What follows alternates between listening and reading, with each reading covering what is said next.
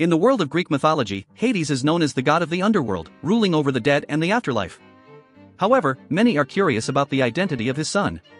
In the 2020 video game Hades, the protagonist Zagreus takes on this role as the son of Hades.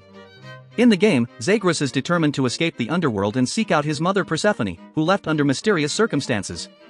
This intriguing storyline has piqued the interest of many, prompting them to delve deeper into the mythological origins of Hades and his elusive son.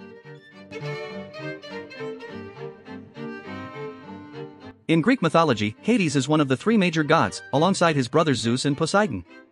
After the overthrow of their father, Cronus, the three brothers divided the realms of the world amongst themselves.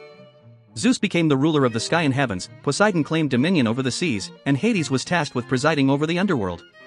This dark and gloomy realm was the final destination for the souls of the deceased, where they would be judged and spend eternity in the afterlife.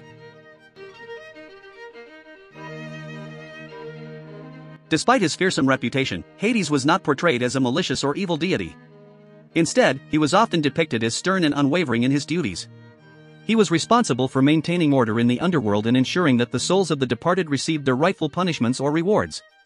Hades was also known for his possession of the Helm of Darkness, which granted him the power to become invisible and strike fear into the hearts of mortals and gods alike. While Hades was a powerful and enigmatic figure, little was known about his personal life, including whether he had any offspring. However, the myth of Hades and Persephone sheds some light on this aspect of his existence. According to the myth, Hades abducted Persephone, the daughter of the harvest goddess Demeter, and brought her to the underworld to be his queen. This act sparked a series of events that led to Persephone's eventual return to the surface world for part of the year, bringing about the changing of the seasons. In the context of the Hades video game, the character Zagreus is presented as the son of Hades and Persephone. This unique interpretation of Hades' lineage has garnered attention and sparked discussions among fans of Greek mythology. In the game, Zagreus is portrayed as a rebellious and headstrong figure, determined to defy his father and escape the confines of the underworld.